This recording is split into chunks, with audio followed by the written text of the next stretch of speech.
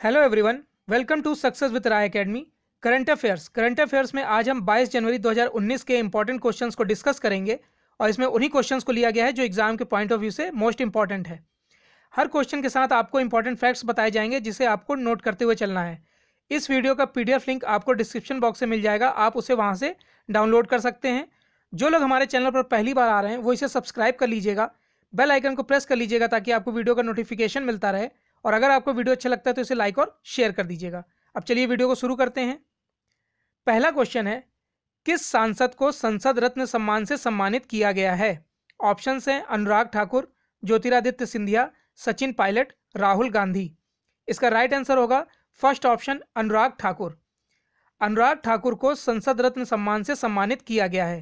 हिमाचल प्रदेश के सांसद अनुराग ठाकुर को ज्यूरी कमेटी स्पेशल अवार्ड श्रेणी के तहत सांसद के रूप में उनके विशिष्ट प्रदर्शन के लिए संसद रत्न सम्मान से सम्मानित किया गया है। अनुराग ठाकुर ज्यूरी समिति का पुरस्कार प्राप्त करने वाले पहले भाजपा सांसद बने हैं।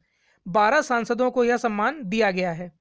संसद रत्न पुरस्कार की स्थापना 2010 में पूर्व राष्ट्रपति डॉक्टर एपीजे अब्दुल कलाम द्वारा की गई थी।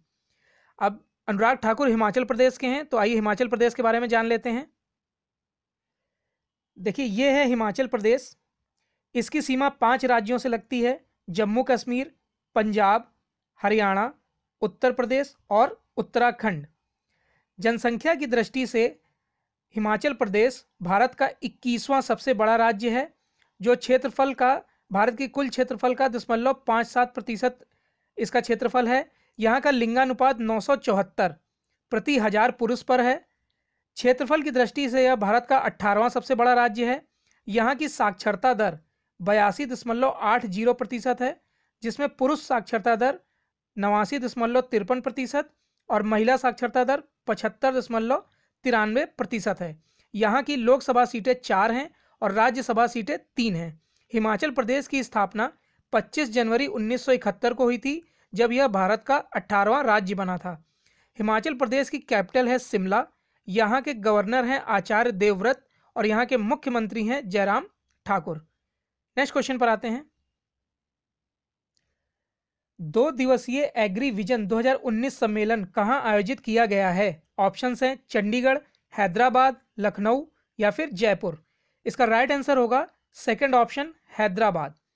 दो दिवसीय एग्री विजन 2019 सम्मेलन का शुभारंभ हैदराबाद में किया गया है। स्मार्ट और सस्टेनेबल एग्रीकल्चर के लिए एग्रो सॉल्यूशन की कल्पना पर हैदराबाद में दो दिवसीय एग्री विजन 2019 सम्मेलन आयोजित किया गया है। इसका उद्घाटन भारत के उपराष्ट्रपति एम वेंकैया नायडू द्वारा किया गया है। सम्मेलन संयुक्त रूप से प्रोफेसर जयशंकर तेलंगाना राज्य कृषि विश्वविद्यालय और भारतीय उद्योग परिसंघ यानी कि CII और कार्नेल विश्वविद्यालय यूएसए द्वारा आयोजित किया गया है। अब इस सम्मेलन का आयोजन हैदराबाद में हो रहा है, जो कि तेलंगाना की राजधानी है। तो सबसे पहले तेलंगाना का मैप देखते हैं। देखिए यह है तेलंगाना राज्य। इसकी सीमा महाराष्ट्र, कर्नाटक, आंध्र प्रदेश, उड़ीसा और छत्तीसगढ़ से लगती है। हैदराबाद इसकी कैपिटल है, गवर्नर हैं यहाँ के ई एस एल नरसिम्हन और यहाँ के मुख्यमंत्री हैं के चंद्रशेखर राव। जनसंख्या की दृष्टि से तेलंगाना भारत का बारहवां सबसे बड़ा राज्य है, जो दो दशमलव नौ सात प्रतिशत पूरी जनसंख्या का प्रतिशत रखता है। यहाँ का लिंगानुपात नौ सौ पिचासी महिला प्रति हज़ार पुरुष पर है। क्षेत्रफल की दृष्टि से तेलंगाना भारत का बारहवां सबसे बड़ा राज्य है और साक्षरता दर यहाँ की छाछठ दशमलव चार छः प्रतिशत है, जिसमें पुरुष साक्षरता दर चौहत्तर दशमलव नौ पाँच प्रतिशत और महिला साक्षरता दर सत्तावन दशमलव नौ दो प्रतिशत है। ये इसके इंपॉर्टेंट फैक्ट्स हैं, आप नोट कर लीजिएगा। नेक्स्ट क्वेश्चन पर आते हैं। पंद्रवा प्रवासी भारतीय दिवस कहाँ पर आयोजित किया जा रहा है? ऑप्शंस हैं जयपुर, आगरा, वाराणसी, लखनऊ। इसका राइट आंसर होगा थर्ड ऑप्शन वाराणसी। पंद्रवा प्रवासी भारतीय दिवस उत्तर प्रदेश के वाराणसी शहर में आयोजित किया जा रहा है।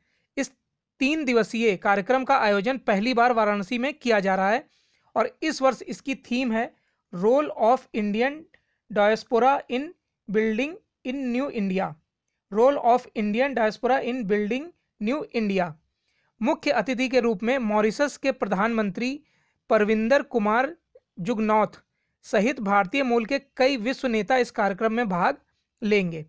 मॉरिसस मॉरिसस की करेंसी है मॉरिसस रुपी यहाँ की कैपिटल है पोर्ट लुइस और इसका आयोजन उत्तर प्रदेश में हो रहा है तो सबसे पहले मैप देखिए। ये है उत्तर प्रदेश। उत्तर प्रदेश की सीमा उत्तराखंड, नई दिल्ली, हरियाणा, राजस्थान, मध्य प्रदेश, छत्तीसगढ़, झारखंड और बिहार से लगती है। क्षेत्रफल की दृष्टि से यह भारत का चौथा सबसे बड़ा राज्य है। जनसंख्या की दृष्टि से पहला सबसे बड़ा राज्य है। यहाँ का लिंगानुपात 908 महिलाएँ प्रति पुरुष, प्रति हज़ार पुरुष पर है। यहाँ की साक्षरता दर सड़सठ दशमलव छः आठ प्रतिशत है, जिसमें पुरुष साक्षरता दर सतहत्तर दशमलव दो आठ प्रतिशत और महिला साक्षरता दर सत्तावन दशमलव एक आठ प्रतिशत है। यहाँ की उत्तर प्रदेश की कैपिटल लखनऊ है।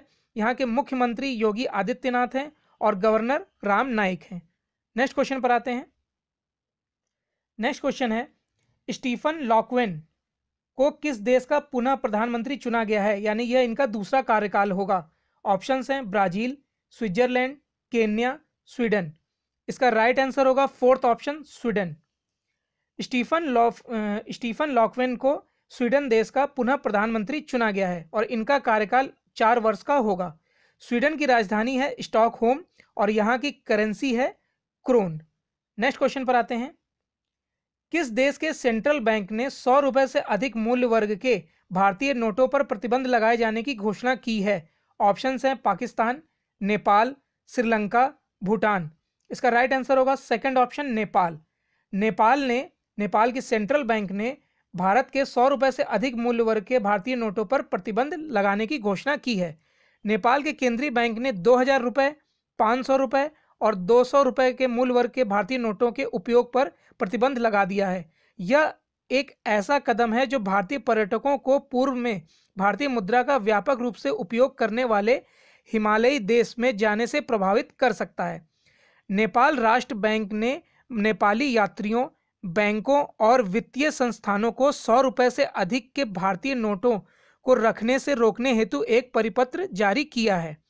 नेपाल के सेंट्रल बैंक को नेपाल राष्ट्र बैंक कहा जाता है, जिसकी स्थापना 1956 में हुई थी और इसके गवर्नर हैं डॉक्टर चिरंजीव। नेपाल नेपाल के प्रधानमंत्री हैं के पी शर्मा ओहली, यहाँ की प्रेसिडेंट हैं विद्या देवी भंडारी, यहाँ की कैपिटल है काठमांडू और यहाँ की करेंसी है नेपाली रुपया। आइए नेक्स्ट क्वेश्चन पर आते हैं। नेक्स्ट क्वेश्चन है 2020 के लिए किस शहर को वास्तुकला की विश्व राजधानी के रूप में नामित किया गया है? ऑप्शंस हैं, Rio de Janeiro, Washington DC, Agra, Jaipur.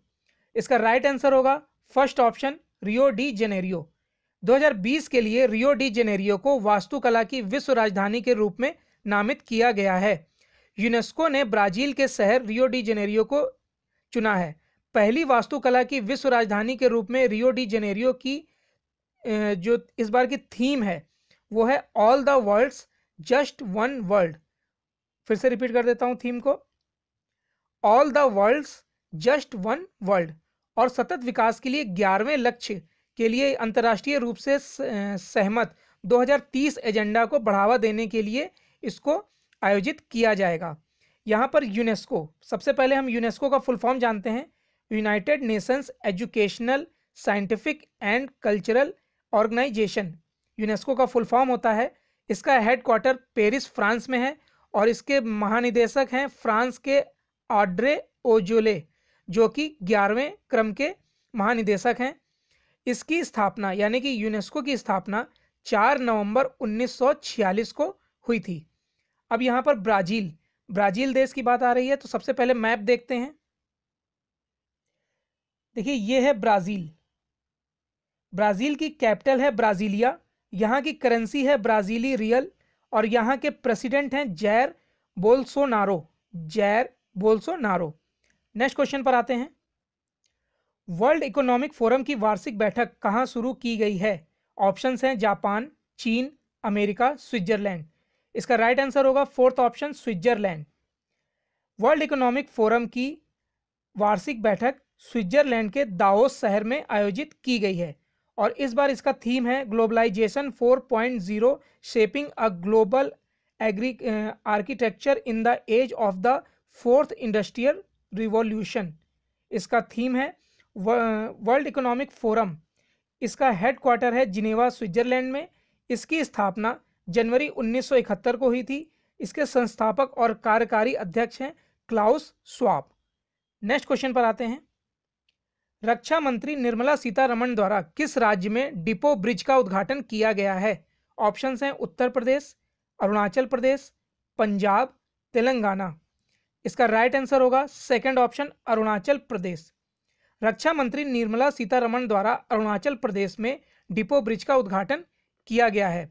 रक्षा मंत्री ने अरुणाचल प्रदेश के लोअर दिबांग घाटी ज़िले में चीपू नदी पर 426 मीटर लंबे डिफू ब्रिज का उद्घाटन किया है। सीमा सड़क संगठन यानी कि बी ने भारत चीन सीमा पर पुल का निर्माण किया है। पुल का निर्माण 2011 में शुरू हुआ था और पुल बनने की कुल लागत चार हज़ार आठ सौ सैंतालीस दशमलव आठ तीन लाख रुपए थी और इसे केंद्रीय सड़क और परिवहन राजमार्ग मंत्रालय द्वारा वित्त पोषित किया गया है। ये ब्रिज अरुणाचल प्रदेश में बन रहा है तो सबसे पहले अरुणाचल प्रदेश का मैप देखते हैं। ये है अरुणाचल प्रदेश। अरुणाचल प्रदेश की सीमा असम, नागालैंड से लगती है और यहाँ के मुख्यमंत्री हैं पेमा खांडू, यहाँ के गवर्नर हैं बी डी मिश्रा और यहाँ की कैपिटल है ईटानगर। जनसंख्या की दृष्टि से अरुणाचल प्रदेश भारत का सत्ताईसवां सबसे बड़ा राज्य है। क्षेत्रफल की दृष्टि से पंद्रहवां सबसे बड़ा राज्य है। यहाँ का लिंगानुपात 920 महिलाएँ प्रति हज़ार पुरुष पर है। यहाँ की साक्षरता दर पैंसठ दशमलव तीन आठ प्रतिशत है, जिसमें पुरुष साक्षरता दर बहत्तर दशमलव पाँच पाँच प्रतिशत और महिला साक्षरता दर सत्तावन दशमलव सात ज़ीरो है। नेक्स्ट क्वेश्चन पर आते हैं। दुनिया के सबसे बुज़ुर्ग व्यक्ति मसाजो नोनका का वर्ष 113 वर्ष की आयु में निधन हो गया। वह किस देश के थे? ऑप्शन है जापान, चीन, भूटान, तिब्बत। इसका राइट आंसर होगा फ़र्स्ट ऑप्शन जापान। दुनिया के सबसे बुज़ुर्ग व्यक्ति मसाजो नोनका, जिनका 113 वर्ष की आयु में निधन हो गया, वो जापान देश के थे। अप्रैल 2018 में Guinness Book of World Record द्वारा दुनिया के सबसे बुज़ुर्ग पुरुष के रूप में पहचाने जाने वाले नोनका का निधन हो गया। अब ये जापान के थे तो जापान के बारे में जान लीजिए। जापान, ये है जापान। जापान की कैपिटल है टोक्यो, यहाँ की करेंसी है येन और यहाँ के पीएम है सिंजो अबे।